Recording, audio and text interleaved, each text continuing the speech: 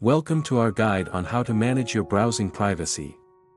If you've gone incognito and want to go back to regular browsing, we'll show you how to get out of stealth mode. Step 1, open Safari, launch the Safari app on your iPhone. Step 2, you are in privacy mode when browsing the web, select the icon with two squares overlapping each other.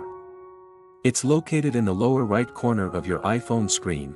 Step 3, to turn off this private page, you will select the X icon in the upper right corner. Step 4, select Private with the down arrow. Step 5, select the phone icon with tabs, located right on the private tab with the hand icon.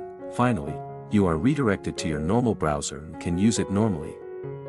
If you use your browser normally, your data will be saved.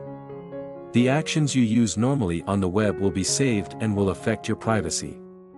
If you use the browser in private mode, some data and tabs you navigate to will not be saved. You can easily do what you want without anyone knowing with private browsing history that won't be saved. So, will you use the browser in private mode or normal mode? Thank you for watching.